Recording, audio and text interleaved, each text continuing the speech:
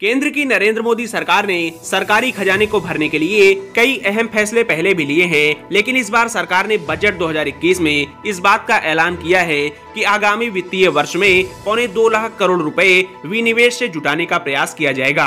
बता दें कि पिछले साल मोदी सरकार ने कहा था कि हम विनिवेश से दो दशमलव एक लाख करोड़ रुपए जुटाएँगे, लेकिन सरकार इस लक्ष्य को प्राप्त करने से काफ़ी पीछे रह गई थी। ऐसे में इस बार सरकार ने पिछले साल की तुलना में पैंतीस हज़ार करोड़ रुपए कम विनिवेश से जमा करने का फैसला किया है।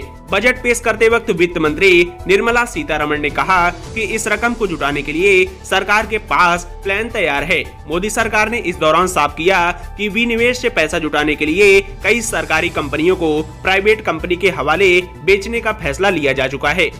आइए जानते हैं, केंद्र सरकार किन सरकारी कंपनियों को बेच सकती है?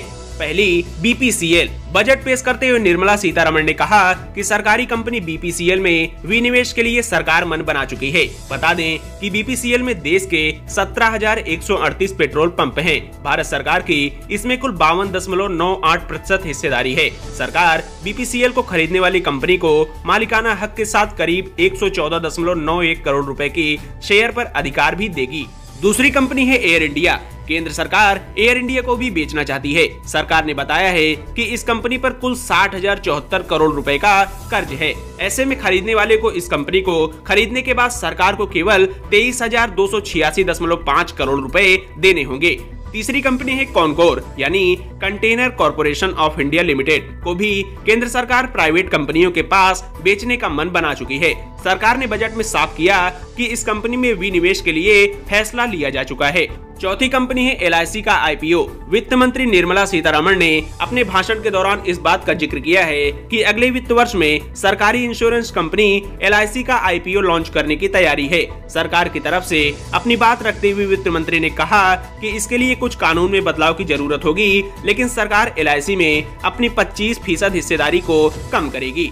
पांचवी कंपनी है एस सी का अर्थ शिपिंग कॉरपोरेशन ऑफ़ इंडिया है। यह भारत सरकार के अंतर्गत आने वाली कंपनी है। बता दें कि एससीआई आज एकमात्र ऐसी भारतीय शिपिंग कंपनी है, जो किसी भी भारी वस्तुओं को समुद्री मार्ग से लाने या फिर अंतर्राष्ट्रीय कंटेनर सेवा प्रदान करने जैसी सुविधाएँ प्रदान करता है। लिक्विड हो या फिर ठोस वस्तुओं को समुद्री मार्ग से एक जगह से दूसरी जगह पहुँचाने की व्यवस्था देखता है। लेकिन इस कंपनी को सरकार ने प्राइवेट कंपनियों के हाथों में देने का फैसला कर लिया है।